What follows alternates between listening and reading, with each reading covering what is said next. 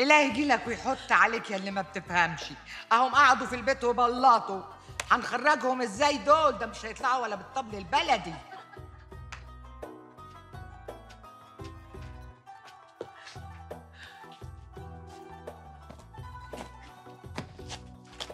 تاكلي يا عمتي.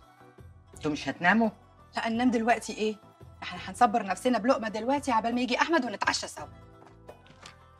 هاتي صبرينا وصبرينا. يلا بسرعة قبل ما تطفحوا لسه هتتعشوا.